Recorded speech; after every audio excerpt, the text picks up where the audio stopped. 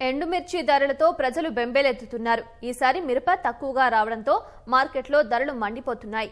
రాష్ట్రంలో కారం లేనిదే ప్రజలకు ముద్ద దిగదు. పావుతులం బంగారంతో మిరప క్వింటాలుకు సమాన ధర పలుకుతుంది. ధర ఎక్కువైనప్పటికీ ప్రజలు మిర్చిని కొనుగోలు చేస్తున్నారు. గత ఏడాది నూట ముప్పై రూపాయలకు కిలో మిర్చి ఉండగా ఈ ఏడాది ఇది రెండు వందల నుంచి రెండు వందల యాభై వరకు ధర పలుకుతోంది. కరీంనగర్లో ప్రతి శనివారం సంత జరుగుతుండటంతో నగరవాసులు పెద్ద ఎత్తున మార్కెట్కు తరలివచ్చి కొనుగోలు చేస్తున్నారు. ధరలను చూసి బెంబేలెత్తిపోతున్నారు. ఇక రైతుల పరిస్థితి మాత్రం మూలిగే నక్కపై తాటిపండు పడ్డట్టుంది. ఎకరం విస్తీర్ణంలో మిరప పంటను సాగు చేస్తే పది క్వింటాలు దిగుబడి రావాలి. తామర పురుగు వర్షాల కారణంగా అది కాస్త ఐదు క్వింటాలకు వచ్చింది దీంతో రైతులు లబోదిబోం అంటున్నారు. పది క్వింటాలు వెళ్ళేది రెండు మూడు క్వింటాలు కూడా వెళ్తలేవు. మాకేమో ధర రేట్ ఎక్కువ పడుతుంది. ఇక్కడికి వచ్చినేమో రేటు తక్కువ పెడుతుంది. మాకేం పడతలేదు. పంతొమ్మిది వేలు ఉంది.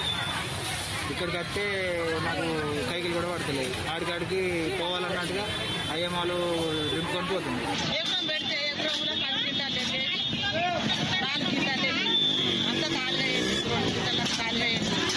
కానీ ఈ ధర గుట్లో కొద్దిగా అవుతాను మాకు కాయ లాభపడదు ధర లేకుండా మాత్రం అంత పంతొమ్మిది వేలు ఉంటే వాళ్ళ కిలోకి కూడా గదే పంట.